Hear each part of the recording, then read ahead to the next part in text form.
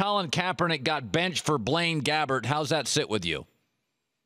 Fine. I mean, Kaepernick, uh, you know, had a bad, mostly a bad year last year with the Niners. And even though he uh, was tutored and coached well this off season, and and, uh, and and I think had a couple of good new influences around him in Kurt Warner and Steve Logan, the the new quarterbacks coach. You know, it's more of the same.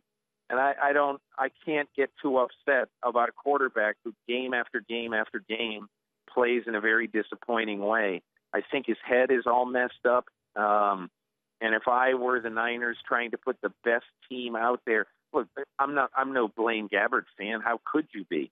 But I don't know how you want to, uh, how you would keep putting Kaepernick in game after game after game. Uh, and I think right now it's the right call by Tom Sula.